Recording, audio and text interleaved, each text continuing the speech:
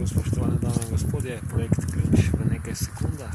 Vidimo simbol sonca, križ, ta fizikalnih in metafizičnih energij, tukaj imamo sonce, cerkev je v Pernici, svete Marjete, ko pa se pogleda na strop, pa se vidi, da je upodobljeno sonce, pa ključ, ki ima v sebi tudi srce, se pravi, genialna zadeva, kot rečeno Pernica, cerkev svete Marjete, če dodamo še to, bila sta Faust in Marjetka.